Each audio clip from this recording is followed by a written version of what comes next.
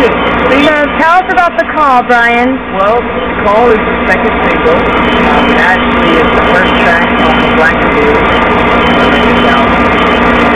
You right here on set, downtown LA. Um, I just got shot actually with uh, rubber pellets because the girl that we're chasing throughout the video is actually shooting me with some rubber pellets.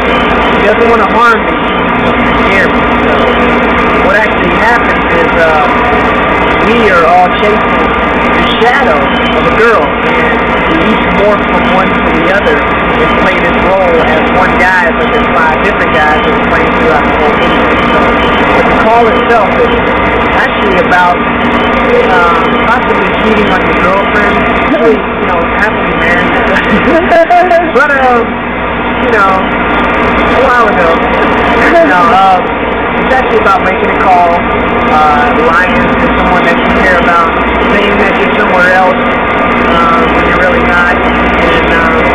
Have anything redeeming towards the end of the song? Huh? Can you redeem yourself towards the end of the song? Does it give any kind of moral to the story? Actually, uh, the moral of the video, I know, um, doesn't really, it's not really consistent with the song, but the moral of the video is that you will get caught. um, because all five of us are running, chasing this girl, and at the very end of the video, Kevin runs around a corner, and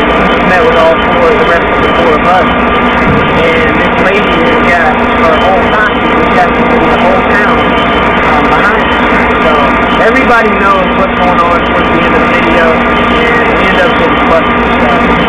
Pretty much, you'll get busted. Cool.